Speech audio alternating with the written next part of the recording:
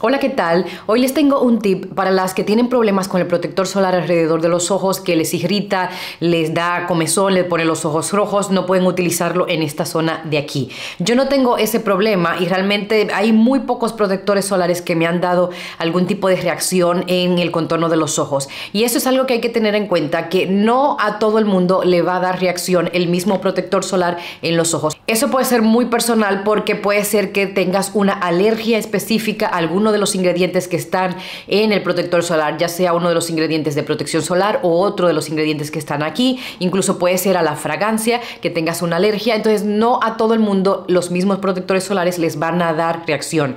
Y también hay que tener en cuenta que aunque el protector solar diga que se puede utilizar en los ojos, que no irrita, si tú tienes una alergia particular a alguno de los ingredientes que están aquí, pues entonces vas a hacer alergia aunque el protector solar ponga que no te va a irritar los ojos.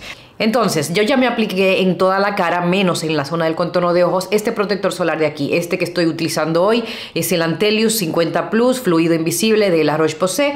Y el tip que les voy a dar es utilizar en la zona del contorno de ojos un protector solar que sea para piel sensible en barra.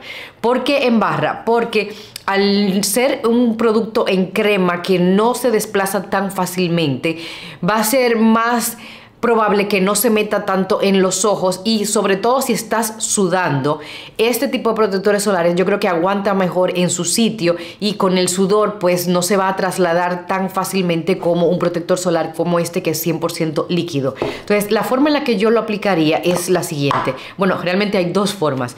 La primera forma es aplicando directamente con el stick y la forma de aplicar es haciendo un barrido así y ahí aplican el producto en toda la parte de abajo del contorno de ojos y luego giran la barra y pueden aplicarlo directamente en la zona del párpado.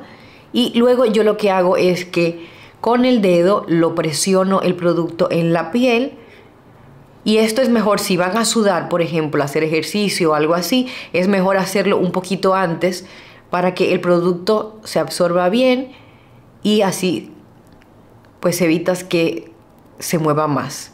Entonces, ahí ya yo tendría este lado. La segunda forma es aplicarlo con el dedo para hacer una aplicación más precisa, digamos. Entonces, lo que haría es frotar el dedo con el producto y luego esparcirlo en la zona de el contorno de ojos y lo mismo con la zona del párpado y ya está, ahí me aseguro de tener protegidos los párpados y la zona de debajo del contorno de los ojos. Y los que me preguntan si se puede utilizar protector solar en los párpados, sí se puede y se debe. Hay reportes de dermatólogos que han encontrado cáncer de piel en la zona de los párpados y por eso es muy importante. Quizá no todos los protectores solares te funcionen en esa zona, pero uno como este, que este es 100% mineral, que solamente contiene zinc, puede ser que tengas más posibilidades de que no te irrite. Y la ventaja que tienes es que con este también puedes a lo largo del día retocar el SPF, incluso cuando tienes maquillaje, este funciona bastante bien. Así que ahí tienes un 2 en 1 y eso está muy bien porque vas a utilizar al máximo este producto, aunque ya tengas un protector solar para toda la cara. Y déjame saber si te gustó este tip en un comentario debajo y nos vamos a ver en el próximo que será muy muy pronto. Un beso. Chao.